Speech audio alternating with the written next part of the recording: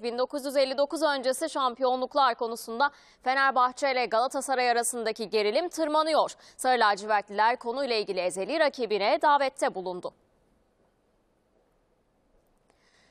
Fenerbahçe'nin resmi internet hesabından yapılan paylaşımda kulübümüzün resmi belgeler ve kanıtlarıyla talep ettiği, tarih yok sayılamaz dediği 1959 öncesi Türkiye şampiyonluklarına dair tamamen kanıtsız şekilde aleyhte iletişim yapan Galatasaray Kulübü'ne açık teklifimizdir. İstediğiniz mecrada İsterseniz sizin kanalınızda ister başkan seviyesinde ister yöneticiler seviyesinde katılımlarla bu konuyu tüm Türkiye önünde tartışmaya davet ediyoruz dendi.